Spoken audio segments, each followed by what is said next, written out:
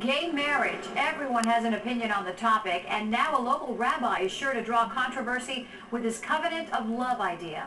Gay marriage is illegal in Florida, but commitment ceremonies aren't.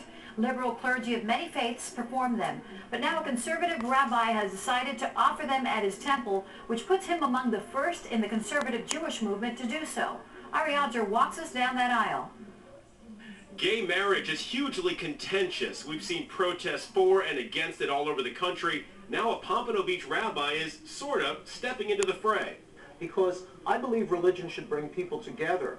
Conservative Rabbi David Mark of Temple Sholom has decided to perform commitment ceremonies for gay couples since they can't legally marry in Florida. But they, they want to express their love in a public forum. And even though it's not a marriage ceremony, and I don't call it that, at the same time, they make promises to one another, they exchange rings, they get to bless the cup of wine, at the end they get to crush the glass. it, it is so important for religion to affirm these things, because human love is the most precious thing that there is. And how do you square that with uh, theology? Uh, the Torah says a lot of things about homosexuality, none of them favorable.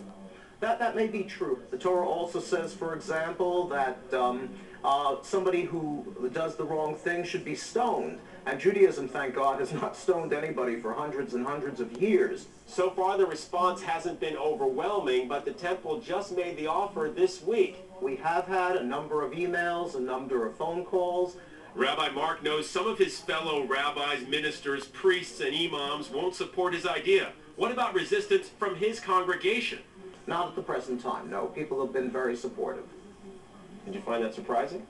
Well, you never know because, as they say, uh, three Jews, five opinions. But uh, at the present time, I'm glad to say that uh, people have fallen in behind this idea. For this rabbi of a conservative uh, temple, he's really doing a mitzvah. Michael Albetta leads a gay political group and says Rabbi Mark is sending a message. Even if it's not officially marriage, it, it shows you that uh, the religious communities do understand about it. the word is called love. Rabbi Mark says there are some lines he won't cross. He won't perform interfaith weddings or commitment ceremonies. He has to answer to a higher authority. In Pompano Beach, Ari Odzer, NBC6. In a return